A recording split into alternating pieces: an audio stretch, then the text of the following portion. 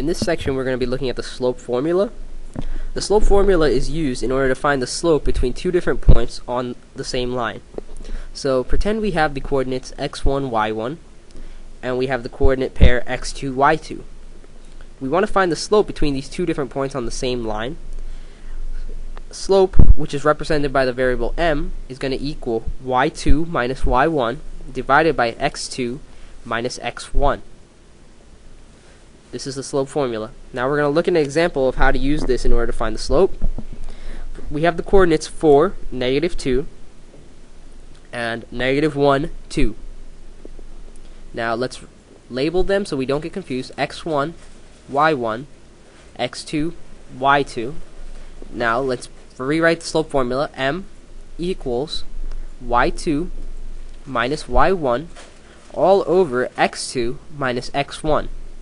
Now we can plug in the numbers for the variables. So m equals 2 minus negative 2 over negative 1 minus negative 4. Because there's two negatives together, it becomes a plus, so we can do 2 plus 2, which equals 4. And then negative 4 minus 4 is going to equal negative 5.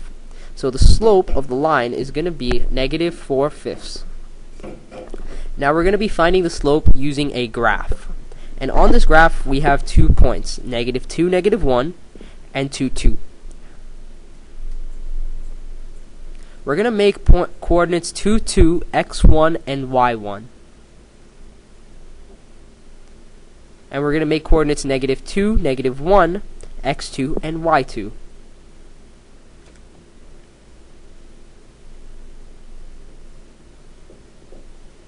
Now we can set up the slope formula, which would be y2 minus y1 first, so negative 1 minus 2 over negative 2 minus 2. Now let's simplify this. Negative 2 minus 2 is going to give us a negative 3. Negative 2 minus 2 is going to give us a negative 4. Because there's two negatives, it becomes a positive 3 fourths. So the slope of the line is 3 fourths.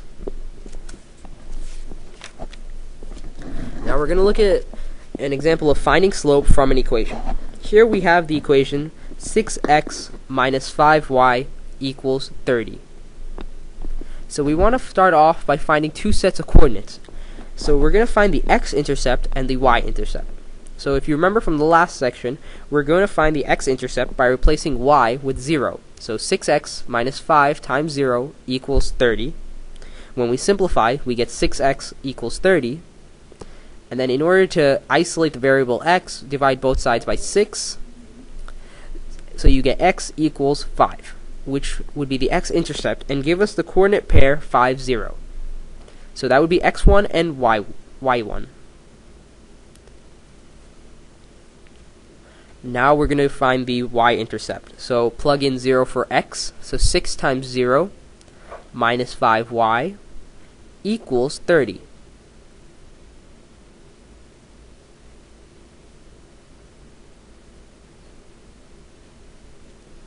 So we can simplify that to negative 5y equals 30.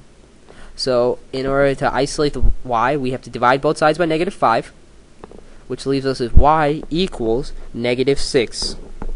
And because this is the y-intercept, the coordinates would be 0, negative 6.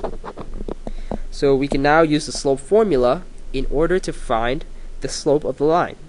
So y2 minus y1 first, so negative 6 minus 0 over x2 minus x1, which would be 0 minus 5. When we simplify, we get negative 6 over negative 5. Because it's two negatives, it becomes positive. So the slope of the line would be 6 over 5.